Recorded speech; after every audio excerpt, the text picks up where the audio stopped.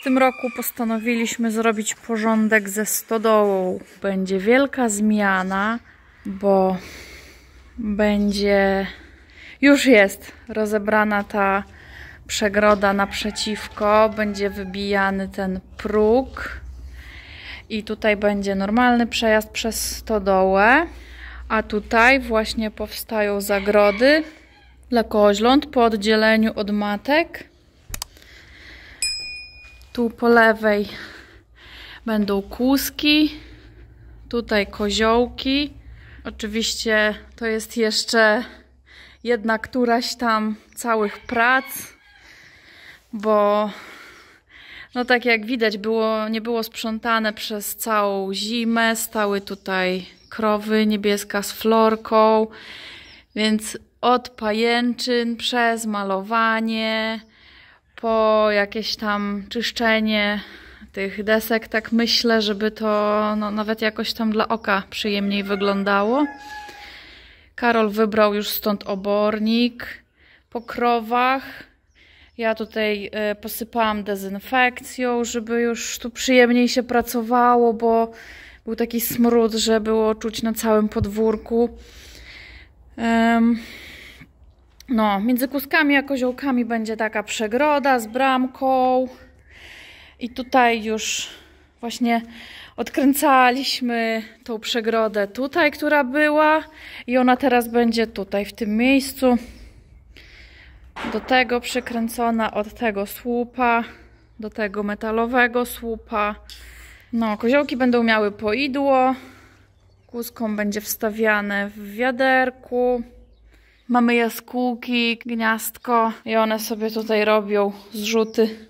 No i e, będziemy mieć w końcu po kilku latach przejazd przez stodołę. To jest miejsce, o którym chyba już wspominałam raz, ale o, przykręcone.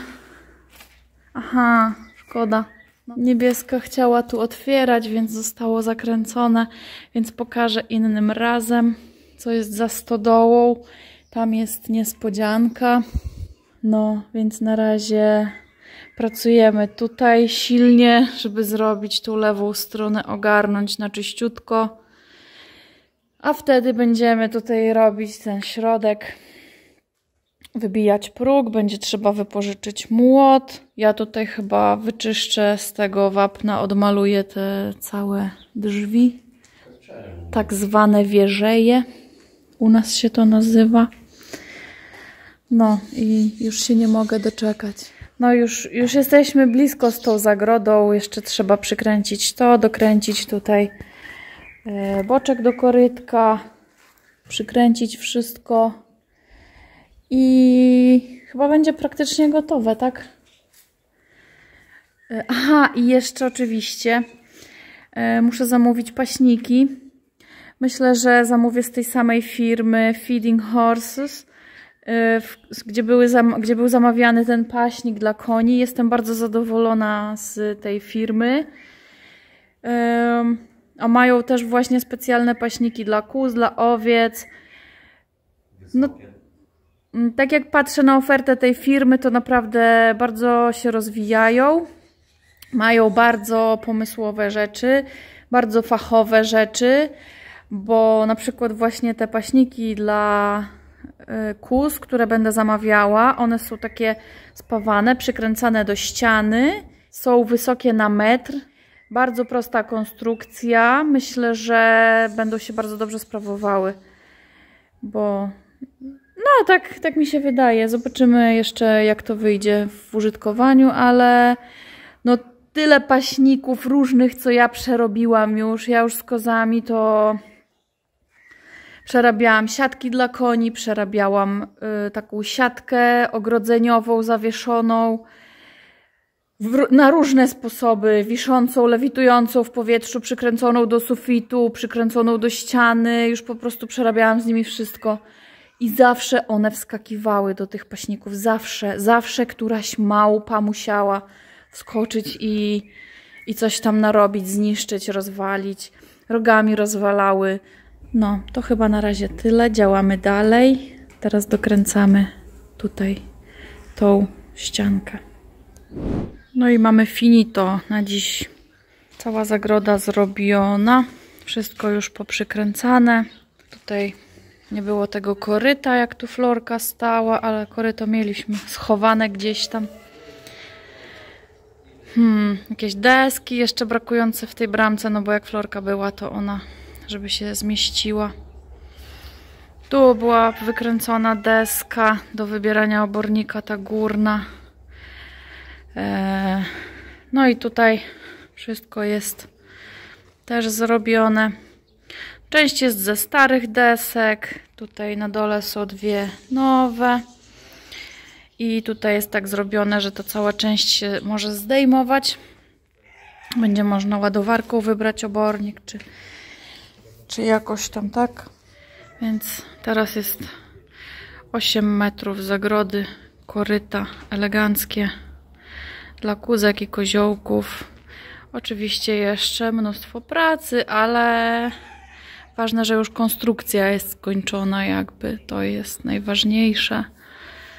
Ale już tam pajęczyny i inne drobnostki to yy, myślę, że w tym tygodniu może się uda skończyć. No i ten próg najgorszy. Ale jutro jedziemy wypożyczyć młot, inne sprzęty i próg będzie wybity, mam nadzieję. Tu jest bardzo dużo w ogóle złomu zabetonowane. Wszystko, co było niepotrzebne, to tutaj wrzucaliśmy, żeby wiadomo, jakieś tam zbrojenie zrobić, coś ala zbrojenie, no. Ale mm, no, zawsze to trochę wzmocniło. Ukrów to nie będę pokazywać z tej strony. Jeszcze jest niewybrany obornik, ale to wszystko pomalutku. Teraz zaraz lada chwilę nas czekają siano kosy i oby ogarnąć tutaj kózką, koźlętą. Marzy mi się jeszcze świetlik w suficie. Może się uda.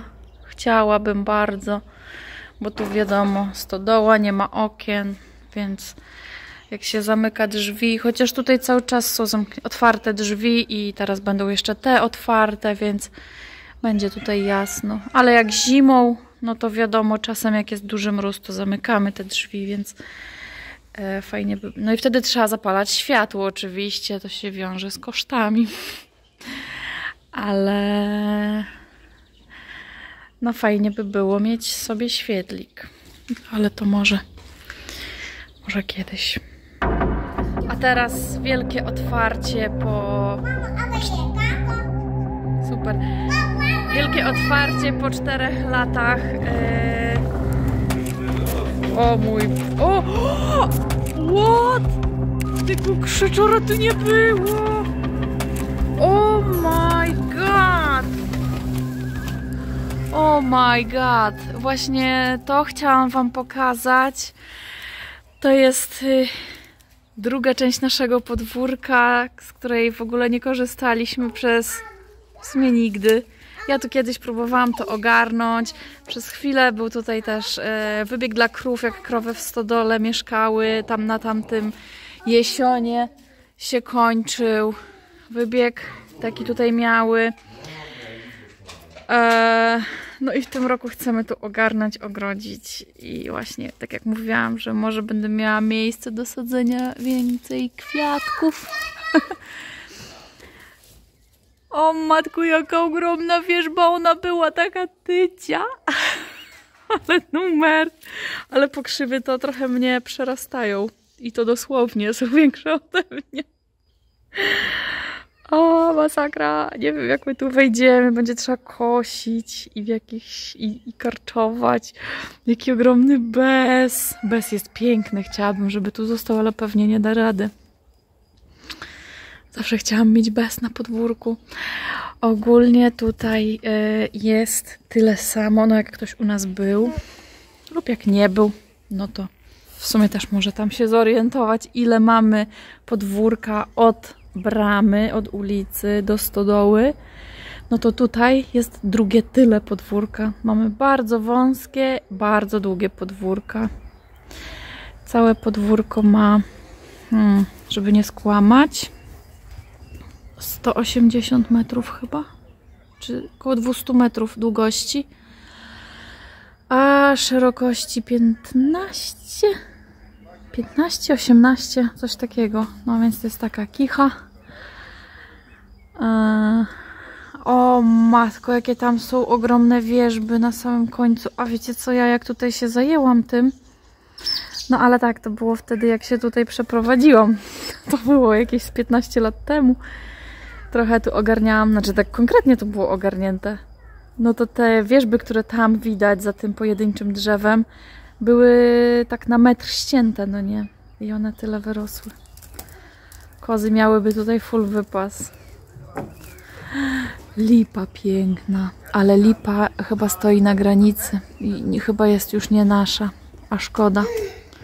Pięknie. Na pewno myślę, że zrobimy tutaj porządek. Jeżeli tylko, już kochanie, jeżeli tylko uda nam się tutaj trochę to wykarczować, ogrodzić, to na pewno zrobimy tutaj jakieś fajne miejsce użyteczne. Tutaj jest taki grunt trochę mokry. Mokry, ale bardzo żyzny, bo widać tam, gdzie rośnie pokrzywa, to jest dużo azotu. No, ee, więc fajnie by było to jakoś zrobić taką część rekreacyjną podwórka, ale zobaczymy. Tu wilki wyją. Tu dinozaury już mieszkają, nie tylko wilki. Ale rodzina. Tak wyglądają moje rabarbary dwa tygodnie po posadzeniu. Nie wyglądają dobrze.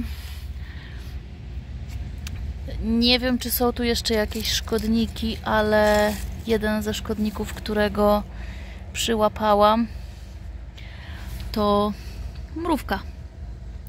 Mrówki sobie tutaj urządziły swoje miasto, pomimo że e, jest tutaj bardzo mokro, to one i tak podoba im się tu jakoś. Nie wiem dlaczego. Mm, podobno dobry sposób na mrówkę to obsypanie cynamonem y, roślin. Więc przyszłam specjalnie z cynamonem. Mam nadzieję, że je to odstraszy. O, pachnie pięknie. Mam nadzieję, że to nie zaszkodzi dla rabarbaru. Mm -hmm. Ale no tak czytałam, że wiele owadów nie znosi cynamonu. Coś go tutaj jeszcze zaczęło podżerać. Mam nadzieję, że to nie są jakieś ślimaki na spodzie liści. Nic tu nie widzę, żadnych szkodników. Więc nie wiem, pewnie coś przyłazi w nocy je zżera. Bardzo bym się chciała w końcu dohodować rabarbaru. Mam nadzieję, że mi się uda. No teraz może... No to taka ekologiczna metoda. Zobaczymy, czy zadziała. Jakiś tydzień powinien być efekt. Posadziliśmy już cukinię. Wszyscy rodzinnie sadziliśmy. O, teraz podlewamy, bardzo o nie dbamy, no bo cukinie uwielbiamy wszyscy. E, te, jak one się nazywają, dalie, ładnie mi wyrosły. I co? I pomidory. Moja róża przeżyła. Mam nadzieję, że coś z niej będzie jeszcze w tym roku. Dyni olbrzymiej jeszcze nie posadziłam. Arbuzy wszystkie się przyjęły. I pomidory. Tutaj możemy zobaczyć, że lewa strona jest już ogarnięta, w sensie, że są podwiązane do samej góry. Ja w tym roku używam takich e, plastikowych, no niby nie ekologicznych, ale to są wielokrotnego użytku, bo się leciutko rozpinają, zapinają, o. I bez problemu można ich używać wiele, wiele lat, myślę. Tak niechcący zamówiłam ich tysiąc sztuk, ale chyba się nie zmarnują. No bo już na każdym pomidorze są 3-4 sztuki, więc tego będzie szło w dziesiątkach. No ale to będzie też na przyszłe, na przyszłe lata. E, tutaj wszystkie pomidory mają urwane już dolne liście. Liście pomidorów nie powinny leżeć na ziemi, nie powinny dotykać ziemi. O tak jak tutaj mamy przykład, że ten, ten dotyka, to najlepiej jest go urwać. O, i tyle. I y, liście można urywać do, do pierwszego tego, y, tego odgałęzienia z owocami. Można jeszcze byłoby ten urwać, ale ja zostawiam, żeby nie był taki mocno łysy ten krzaczek. Troszkę mi zaczęły więdnąć te pomidory i właśnie nie wiem, czy jest im za mokro, czy za sucho. Trudno powiedzieć. Jeden dzień ich nie podlewałam i były takie same, więc nie wiem o co chodzi. Czeka mnie jeszcze prawa strona. Tutaj jest burz. Burz, burz. E, ale to zrobię troszkę później. E, jeszcze właśnie tam czubki mam do podwiązywania, bo ogólnie to je podwiązałam dawno temu. No, jeszcze wilki do pozrywania. O.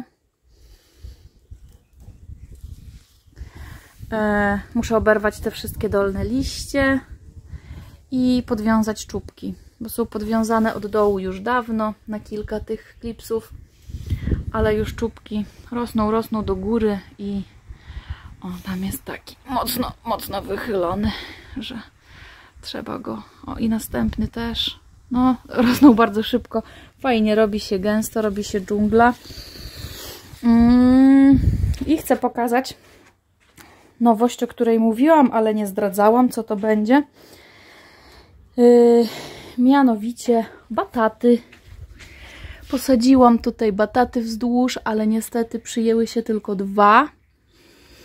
Dwa z jedenastu chyba. Nie wiem dlaczego. Nic nie wiem o ich uprawie. Dostałam je od pana yy, razem z różnymi odmianami ziemniaków. Yy, I straciłam numer telefonu do tego pana. Jeżeli pan mnie ogląda, to bardzo proszę o kontakt. Co i jak i dlaczego. Proszę o podpowiedzi, co robię nie tak. Yy, no nie wyrosły, były podlewane, były posadzone tak płyciutko, jak czytałam. Coś tam czytałam, ale wiadomo, jak ktoś uprawia, ma doświadczenie, to zawsze to inaczej. No ten już wyszedł chyba z ponad tydzień temu. Ten dopiero yy, z trzy dni temu. No a reszta niestety nie wiem, czy ich nie będzie w ogóle, czy... No trudno. Trudno, co wyrośnie, to będzie. No i tutaj zrobiło mi się coś dziwnego w pomidorach, bo mam wrażenie, że te ich wierzchołki są jakby mocno zagęszczone. Nie wiem o co chodzi, co im się stało, czy tak ma być. Takie mam wrażenie, że no tak jest za gęsto na tych czubkach. Może to taka odmiana, nie wiem. Nic nie wiem. Zobaczymy, czy, to, czy one będą rosły dalej normalnie. I to tylko te pod koniec. Może im tu jest za ciepło. Chyba będziemy musieli wyciąć te tylne drzwi jednak, do, żeby do wietrzenia były. No, te wyglądają na trochę zaniedbane, bo trzeba tutaj poprzypinać je klipsami, pourywać im te dolne liście, bo już leżą na ziemi. Więc jeszcze dzisiaj po południu mam robotę. Truskawki zrobiły sobie małą przerwę w owocowaniu ale mają się dość dobrze. Wiszące cudaki. Dotąd od miesiąca chyba codziennie jakieś tam owocki były. Laurka sobie skubała. Trzeba było ją tylko podnosić trochę. No papryka też ładnie kwitnie. Fajnie, fajnie. O, już. Oho, Nawet nie widziałam tego wcześniej. Już jest pierwszy owocek. Super. O, tu jest jeszcze większy. Wow. O kurcze. Haha. No, nie zaglądałam do nich, bo teraz o bo teraz jak jest to podlewanie takie, to tam tak się nie zagląda bardzo mocno. Fajnie. Moje bardzo trujące oleandry też pięknie rosną. Może wystawię je trochę na słoneczko. O. O. I to tyle. Te liście, które zerwałam z pomidorów, wiozę kozom. Pogoda jest piękna, krówki jedzą, produkują mleko.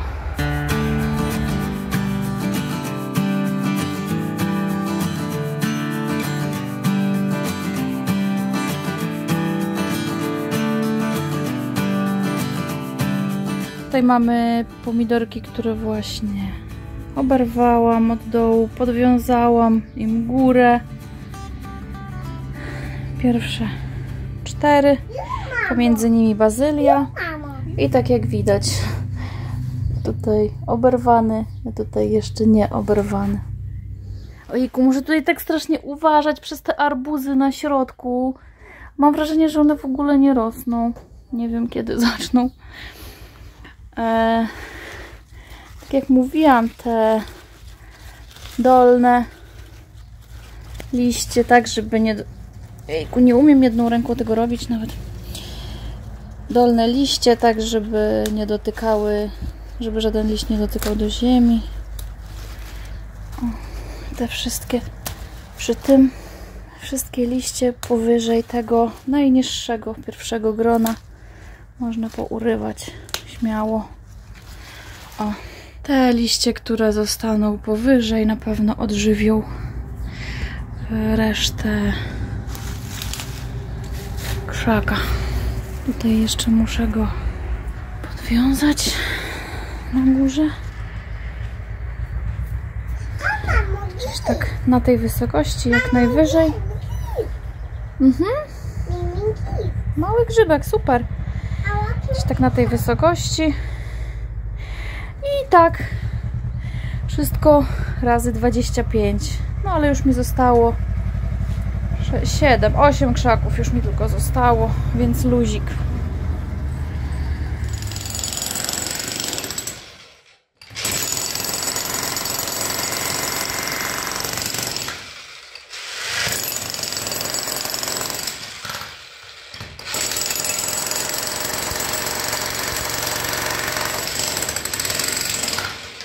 Tada!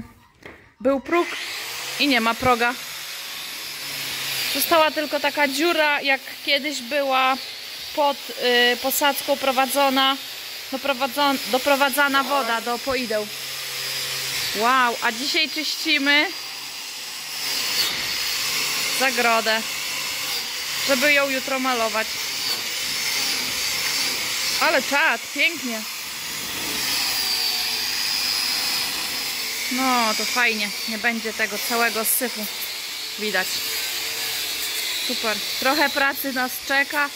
Ja teraz idę y, zbierać pajęczyny. Te małe pajęczynki, które chyba jakieś tarantule tu porobiły.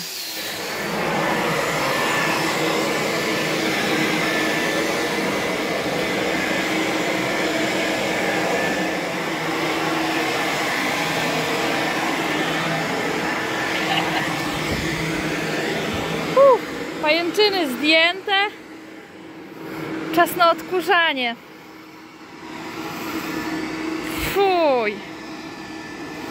Pajęczyny, kurz i sucha dezynfekcja, którą posypałam tam po oborniku, po wybraniu obornika. Już jutro tylko malowanie, no w sumie już tylko malowanie chyba zostało i gotowe. I można robić przeprowadzkę dla koziołków przynajmniej bo kuski to mogą zostać dłużej z matkami a koziołki to już trzeba zabierać. Kuski to wiadomo e, jak coś sobie zostawia się do hodowli to się chce jak najlepiej, żeby to jak największe wyrosło i tak dalej, więc